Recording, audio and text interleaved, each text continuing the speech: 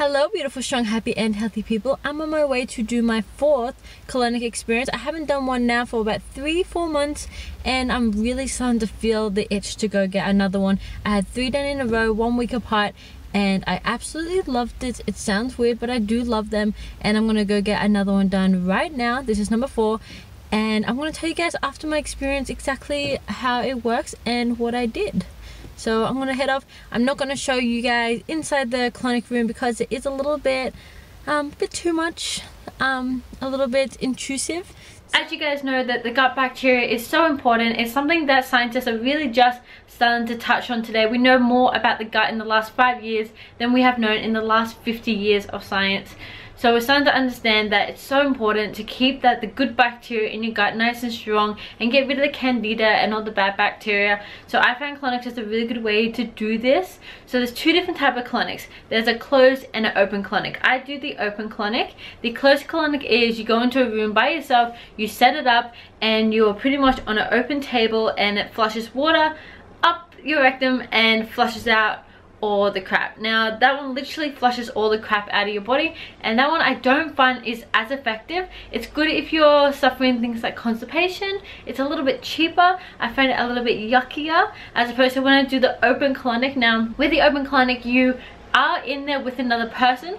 They do put the tube up there for you and they're the one that has control over the water and they're filling up your stomach and flushing the water out so the difference is that we're only, with the open colonic, the goal is to get rid of all the built up plaque that is on the inside of your large intestine. So your large intestine has its walls and over time you actually get built up stuff on the outside. So when you're in the open colonic, you're actually not flushing flushing out all the crap um, until the end so you don't see that coming out so the place I go to I actually have a TV in front of me uh, which people think gross but I quite enjoy it and you can see what's coming out of the tube like I said, it's not crap. You get things like mucus, you get a lot of like built up stuff. So you can see with the water, the stuff that sinks to the bottom that's like dark, that's the built up plaque that you really want to get out of your system and you want to get out of your gut as quick as possible. And then you can see some of the newer floaty stuff. And if you have like a bad diet you can kind of see that coming through as well. With colonics it does take a few sessions to really get the effect of it because it takes time to kind of soak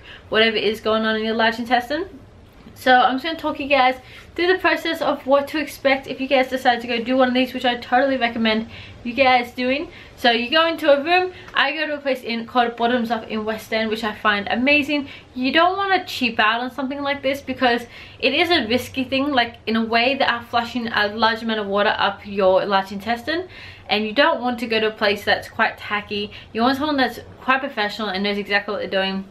So you get changed, you go to the bathroom, you come lay on the table, they um, get you to relax, they stick a tube up your butt, it doesn't hurt, it's quite small, and then you lay down, relax, and they start just flushing water in slowly, you don't really feel it, and then over time they flush in a lot of water, flush it out, flush in, flush it out, then they get to a point where they flush a lot of water in, you try and take as much as you can, the lady that I go to massages the water around my stomach to make sure it fills up as much as I can, and then we flush out as much of the crap as possible.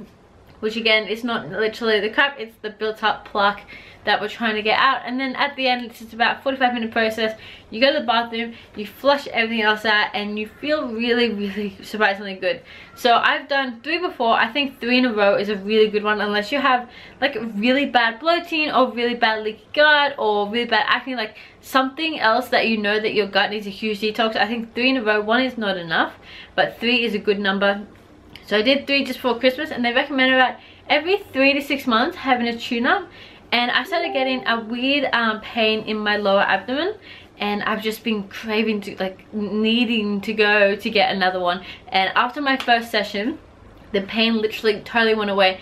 This time i got some so every time you go you get kind of something different. And having the tv there it's really good because you get kind of you get to experience the process a little bit more.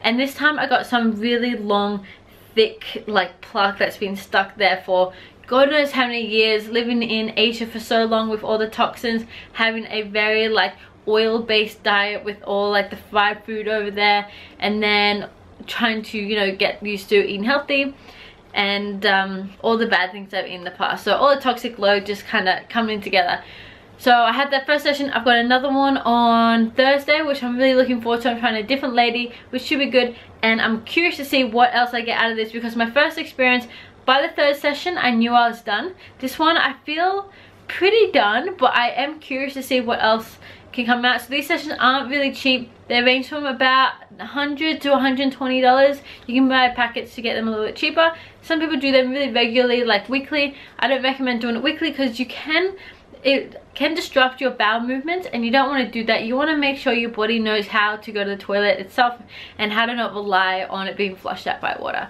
So that's pretty much my experience. Um, I find it a lot of fun in a weird way like it's not painful. There is a little bit of discomfort here and there when they're trying to flush a lot of stuff out but you know that's just when it's your body's really trying to get rid of something. It's not awkward in there with another person. I had a really sweet lady and they do this all the time so you don't think of it as something that's awkward. Um, I actually feel a million times better afterwards. My mood is better you feel a little bit brighter happier and that pain that I had in my lower stomach that no matter how healthy I was eating I could not get rid of is now officially gone. So I think everyone should give it a go. And people that say it's disgusting to get all this stuff flushed out of you I find it more disgusting that it's actually inside my body. I would prefer that I get rid of it as quick as possible. Instead of having it just sink sitting there inside me for God knows how many years until my body decides to pass it or I gather up too much stuff and something needs to happen about it. So thank you guys so much for checking out my video. There's a lot of like points I could make on this. I could probably talk for a good chunk of time. But if you guys have any questions, if you're curious about colonics, that or you've had a colonic experience before, then please let me know in the comments below. And if you are in Brisbane, go check out Bottoms Up. They are really awesome. In the meantime, keep being strong, happy, and healthy.